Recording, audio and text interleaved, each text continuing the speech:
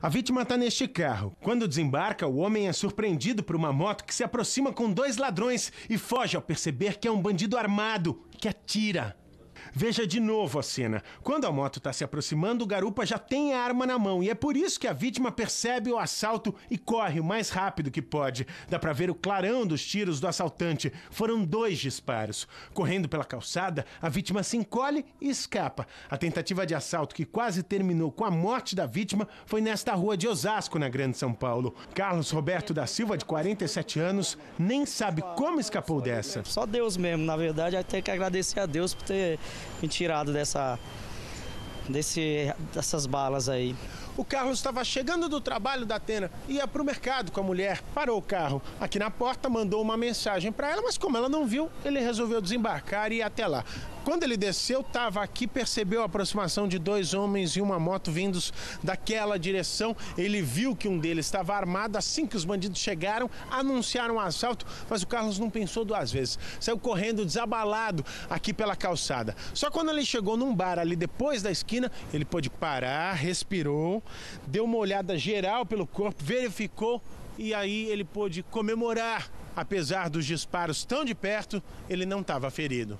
Lenilce é a mulher do Carlos. De dentro de casa, ela ouviu os tiros e saiu desesperada. Foi muito assustador. E depois a gente vê nas imagens aqui, foi Deus mesmo que protegeu, né? O seu Joaquim é o dono do bar para onde o Carlos fugiu. Ele tomou um susto quando viu o rapaz entrando correndo. Chegou correndo e todo se tremendo. Até eu peguei assim, ver se ele tava, tava alguma coisa no corpo dele. Podia ter tomado um tiro. Podia ter tomado. Os bandidos foram embora sem ser identificados. Preocupante. Nosso bairro aqui tá preocupante. Assalto quase que todos os dias, todo mundo comentando, né? O sorriso do Carlos, por muito pouco, não deixa de existir. É ele quem aparece nesta imagem correndo enquanto criminosos disparam numa tentativa de assalto. A diferença entre viver e morrer foi de milímetros. Quando eu escutei o tiro, aí fiz aquele zigue-zague, do... na... saí da calçada e zigue-zague da rua. Muito rápido, muito rápido. Foi foi perigoso demais, foi arriscado demais, mas no momento do susto não dá tempo de pensar, né? A abordagem foi ali atrás da Atena, 20, 30 metros. O Carlos passou aqui correndo o mais rápido que podia, fazendo zigue-zague para não ser atingido, e a gente localizou aqui, ó, a marca de um dos tiros.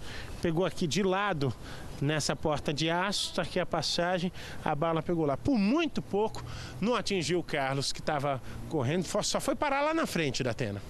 Carlos sabe que poderia ter morrido quando decidiu correr diante de criminosos dispostos a tudo. Ele sabe que não devia ter feito isso, mas não teve nem tempo de pensar. Só Deus mesmo para salvar a gente dessa. Mas já que deu certo, o negócio é comemorar. Legal, Esse aqui é um herói, mano. Esse aqui é um herói. Corre, o homem corre. Aí é o Carlinhos Bala, hein? A Carlinhos Bala. O Carlos faz questão de mostrar que a velocidade não foi só por causa dos tiros. No futebol que eu jogo lá sempre foi muito rápido, muito ágil. Um, dois, três e pá, pá, pá. Olha lá. Olha, se o lateral não pega, a bala também não pega não, bicho. Depois da divulgação do vídeo na internet, já tem time de várzea tentando contratar o Carlinhos Bala para a ponta direita. Mas apesar de postar o vídeo nas redes sociais, ele não registrou o boletim de ocorrência. Agora foi orientado pela nossa equipe a procurar uma delegacia para que os bandidos possam ser identificados e presos. Brincadeiras à parte, Carlos nasceu de novo. Coisa foi foi feia. É, não é fácil, viu, passar por isso aí.